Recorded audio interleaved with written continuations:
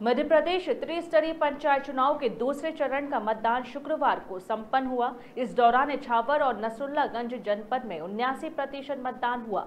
वहीं मतदान में 104 साल से लेकर पहली बार मतदान कर रहे 18 साल के मतदाता शामिल हुए। बात करें आंकड़ों की तो बता दें कि इछावर जनपद इछावर जनपद की 77 ग्राम पंचायत और नसरुल्लागंज की 101 जनपद पर मतदान संपन्न हुआ।